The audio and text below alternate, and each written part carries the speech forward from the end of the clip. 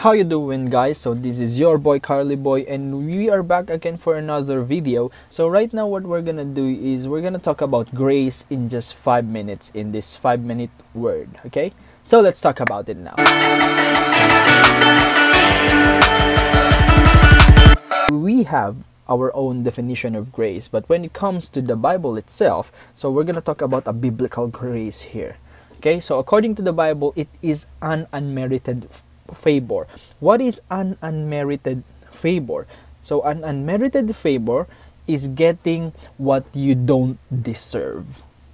Okay? Grace is an unmerited favor, and an, an unmerited favor is getting what you don't deserve. Okay, in example given, I'm gonna elaborate this one.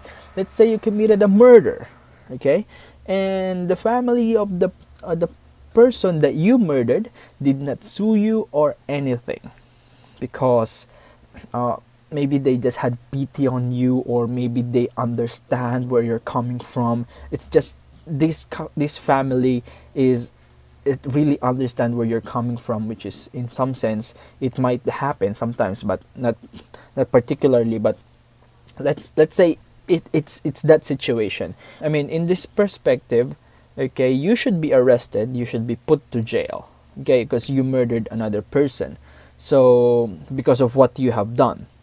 But in this case, when grace is given to you, okay, so you deserve, because you murdered another person, you deserve to be arrested and you also deserve uh, to be put to jail. But then, because grace is given to you by the family, okay, a biblical grace we're talking here, okay, uh, grace is given to you by the family, okay, so you're getting what you don't deserve. You deserve to be put to jail and you deserve to be uh, you deserve to be arrested and you deserve to be put to jail. But what you don't deserve is freedom. What you don't deserve is um is freedom again to roam around uh, outside because you've done something horrible to a person but then because grace is given then you are given freedom okay you are you are set free you are forgiven Okay, so what am I where am I going here? Grace is an unmerited favor. Grace may sound unfair. In some people, grace may sound unfair, which it is. It is unfair. I'm telling you that. Grace is unfair. Okay? So but but why am I saying that it is unfair? Okay? Because all of us are, have been given grace. Okay?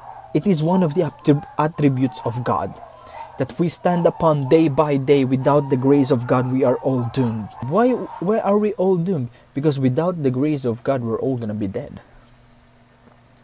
So according to 1 Corinthians 1 verse 10 by the grace of God I am what I am. So stand by that.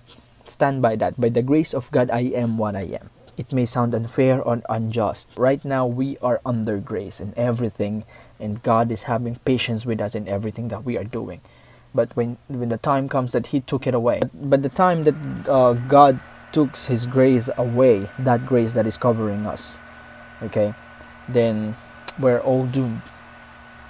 But fortunately our god is so merciful and so gracious. He has given it to us and we are standing by it day by day okay? So yeah. Thank you so much for watching guys. This is your boy KarlyBoy and i hope you learned something today that what about grace okay? Or five minutes about grace.